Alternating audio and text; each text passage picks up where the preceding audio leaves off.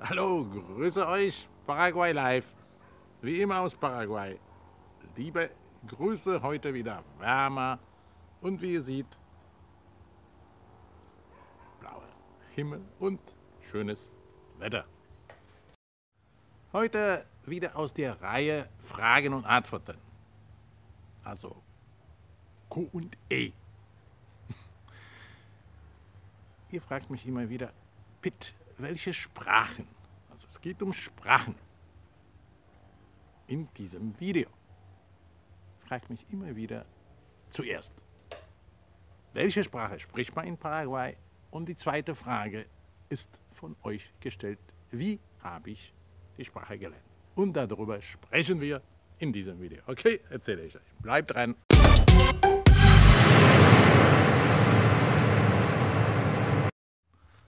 Also über Sprachen. Also in Paraguay spricht man eigentlich drei Sprachen. Ja, drei. Zwei sind offiziell. Sorry. Das ist natürlich Spanisch oder so eine Art von Spanisch, also praktisch Castellano nennt man das. Und die zweite Sprache, offizielle Sprache, ist Guarani, also die indianische Sprache. Äh, Im Endeffekt wird so eine Art wie Castellano gesprochen, also nicht ganz Spanisch, aber sowas ähnliches. Aber wie gesagt, es wurden auch Fragen gestellt, also mit Spanisch kommt ihr auf jeden Fall weiter. Also wenn ihr, sage ich mal, die Grundbegriffe kennt, ähm, also Spanische ist es überhaupt gar kein Problem. Da sind so ein paar Nuancen, die man nachher sich, sage ich mal, aneignen kann im Laufe der Jahre bzw. Monate, die ihr nachher in Paraguay lebt. Äh, die zweite Sprache, die ist ja Guarani, also die ist schon also schwer, schwer. Zum Beispiel Mbaechapa. Da sagt man so ungefähr Hola, ¿qué tal? Wie geht's? Und so weiter. Und zum Schluss sage ich euch, nochmal gebe ich euch einen kleinen Tipp. Und müsst ihr gut zuhören, aber natürlich bleibt noch mal dran. Also die dritte Sprache, beziehungsweise, also wie gesagt, Castellano, also diese Art von Spanisch, dann Guarani und Jopara. Also Jopara, das ist, sage ich mal, diese, diese Mischung praktisch aus, aus indianischen Sprache und äh, aus Castellano, also Spanisch. Die Verlegung also ist so, dass äh, also die meisten Leute, sage ich mal, die meisten Menschen sprechen Spanisch bzw. Castellano in den Großstädten. Ja, da gibt es natürlich auch Paraguayer, die leider nicht mal Guarani verstehen. Guarani wird meistens auf dem Dorf gesprochen, beziehungsweise so in kleinen Stadt oder kleinen Städten. Und wie gesagt, es ist wichtig, dass man also zumindest ja, die Grundbegriffe in Spanisch kennt. Es ist sehr von Vorteil. Schaut euch das an. Ganz am Rande ist es nicht top. Ja? Im Winter, so ein tolles Wetter und die Palmen zu haben. Einfach klasse. Aber zum Thema.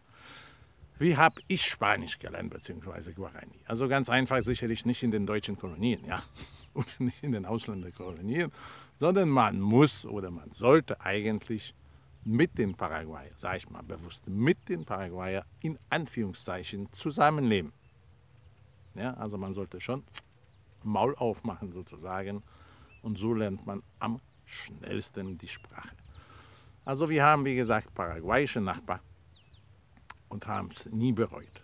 Warum? Weil es einfach so ist, wenn man nach Paraguay kommt oder grundsätzlich auswandert, sollte man doch vorwiegend ja, mit Einheimischen leben, ja, um die Kultur kennenzulernen, um das Land kennenzulernen, um die Sprache eben kennenzulernen. Das ist ja doch wichtig.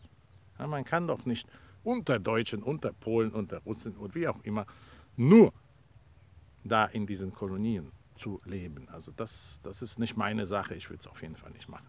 Deshalb so habe ich Spanisch gelernt, also früher durch die Reisen, also wir waren natürlich auf Mallorca, auf Kanarische Insel und so weiter, Spanien.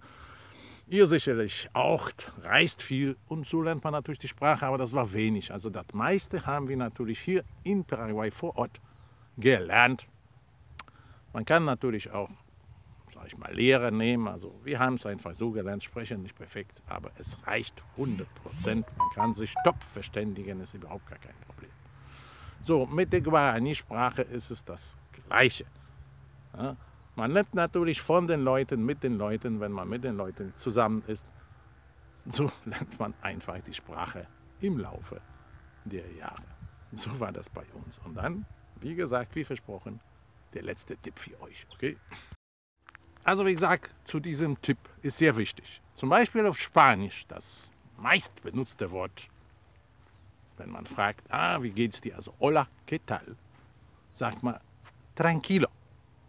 Also tranquilo benutzt man in sämtlichen Sachen. Also wie geht's dir? Ah, tranquilo. Äh, wie geht's deiner Mutter? Auch tranquilo. Ja, und so weiter. Also diese tranquilo, also ruhig, in Ordnung, es funktioniert immer. Aber, der kleine Typ, sagt dir einfach tranquilo, pa. Einfach tranquilo, pa. Das ist diese Jopara. Also im Prinzip die Paraguayer hängen nun diese pa zum Schluss. Und so habt ihr schon das erste Wort in Guarani bzw. in Jopara gelernt. Okay? Also, in diesem Sinne, benutzt das. Sämtliche Frage bezüglich Sprachen einfach drunter stellen, einfach die Kommentare benutzen, stellt einfach die Fragen, was euch interessiert. Und ich werde gerne die Fragen beantworten. Bitte nicht vergessen, einfach den Kanal zu abonnieren.